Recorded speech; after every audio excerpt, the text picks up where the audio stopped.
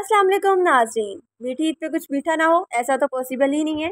आज हम बनाने लगे हैं जेली कस्टर्ड आज मैं आपको स्पेशल तरीके से बनाना सिखाऊँगी।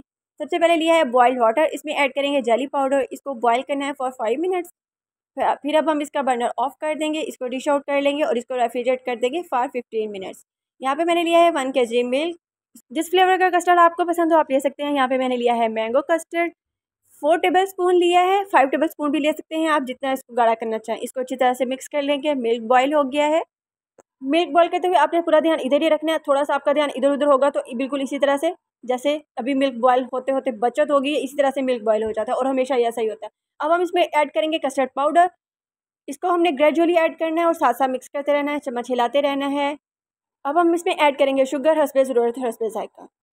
मोस्ट फेवरेट चीज़ कॉकटेल ये जितना मुझे पसंद है इसको खोलना इतना ही मुश्किल है। ये भी हम अभी इसमें कस्टर्ड में ऐड करेंगे। जेली जो है वो रेफ्रिजरेट हो गई है। अब हम इसकी कटिंग कर लेते हैं किसी भी शेप में जो आपको पसंद है उसमें कटिंग कर सकते हैं। अब मैंने इसमें ऐड किया कटिंग और अब हम साथ से में इसमें कस्टर्ड ऐड करेंगे।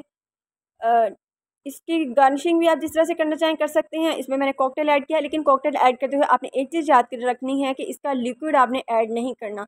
इससे जो है कस्टर्ड पतला हो जाएगा और इसकी रेफ्रिजरेट अच्छी तरह से नहीं होगा। गार्निशिंग कंप्लीट होने के बाद इसको मैंने रेफ्रिजरेट किया था फॉर फिफ्टीन मिनट्स बहुत मज़े का, बहुत delicious jelly custard with cocktail ready है?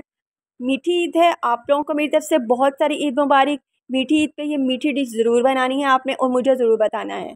अगर आपको रेसिपी पसंद आती है, मेरे चैनल को लाइक और सब्सक्राइब ज़रूर कीजिएगा। थैंक यू अल्लाह हाफिज़।